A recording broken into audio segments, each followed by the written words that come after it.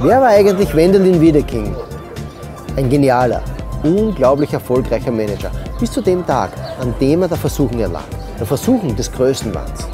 Es dauert oft Jahre, um so eine Karriere aufzubauen, aber oft nur wenige Minuten, um sie so wirklich so rums gegen die Wand zu fahren.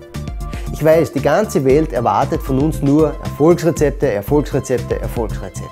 Und die wenigsten aber wissen, wie wichtig es ist, Managementsünden zu vermeiden. Die Managementsünden auf den folgenden Videos sind so kompakte Destillate aus meinem Erfolgsbestseller 11 Managementsünden, die Sie vermeiden sollten. Ich weiß schon, Sie werden sicherlich die eine oder andere Managementsünde kennen oder vielleicht auch begangen haben. Unabsichtlich natürlich, genauso wie ich. Was Sie aber noch nicht wissen ist, dass Sie nun ganz konkrete Tipps bekommen werden aus der Praxis, wie Sie diese Sünden auch vermeiden können.